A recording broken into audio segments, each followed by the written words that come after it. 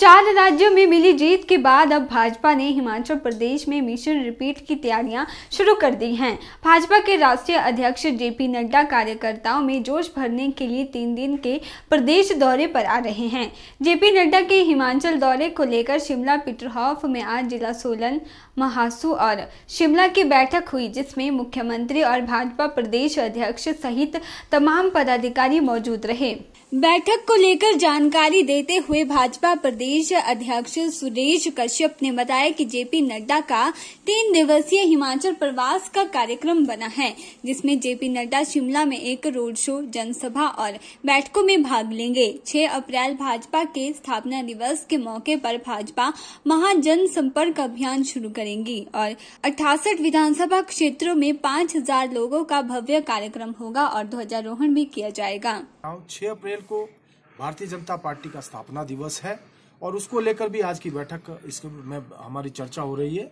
छह अप्रैल को भारतीय जनता पार्टी अड़सठ के अड़सठ विधानसभा क्षेत्रों में भव्य कार्यक्रम कर रही है। उस दिन जहाँ हमारा स्थापना दिवस है, हमने टारगेट रखा है कि कम से कम हर मंडल में पाँच हज़ार की संख्या का कार्यक्रम हो, हर विधानसभा क्षेत्र में पाँच हज़ार की संख्या का कार्यक्रम हो। उस दिन हम स्थापना दिवस मनाए, साथ में वहाँ ध्वजारोहण भी हो। और इसके साथ साथ हमारा महासंपर्क अभियान छह तारीख को प्रारंभ हो रहा है, जिसमें कि हम उस दिन जो है, बूथों के ऊपर और गाँव में जाने का कार्यक्रम, पदयात्रा का भी कार्यक्रम उस दिन से हमारा प्रारंभ होकर तीस अप्रैल तक चलेगा। और उसी दिन माननीय माननीय हमारे प्रधानमंत्री श्री नरेंद्र मोदी जी 10 बजे पूरे राष्ट्र को संबोधित कर रहे हैं तो 10 बजे उनका संबोधन भी होगा।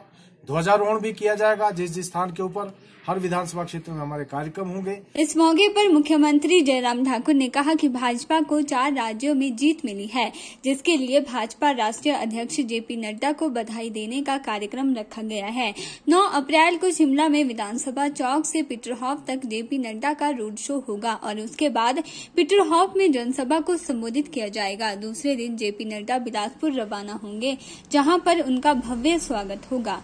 स्वाभाविक रूप से हिमाचल प्रदेश के लिए गर्व का विषय है कि भारतीय जनता पार्टी के राष्ट्रीय अध्यक्ष हिमाचल से के रहने वाले हैं। हिमाचल से उनका संबंध है। लंबे समय हिमाचल प्रदेश में उन्होंने राजनीति की है।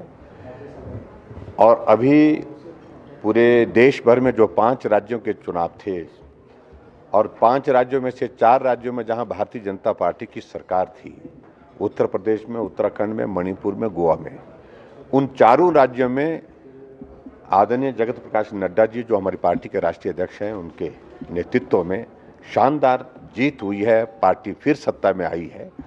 और उस जीत के लिए देवभूमि हिमाचल प्रदेश के हम सब लोग, पार्टी के सब साथी, उनको बधाई देना चाहते हैं सामूहिक रूप से और उनका अभिनंदन करना चाहते हैं। तो अभिनंदन हम 9 तारीख को शिमला पहुँचने पर उनका यहाँ पर करेंगे। की चैनल के लिए शिमला से पुष्पिंदर कुमार की रिपोर्ट।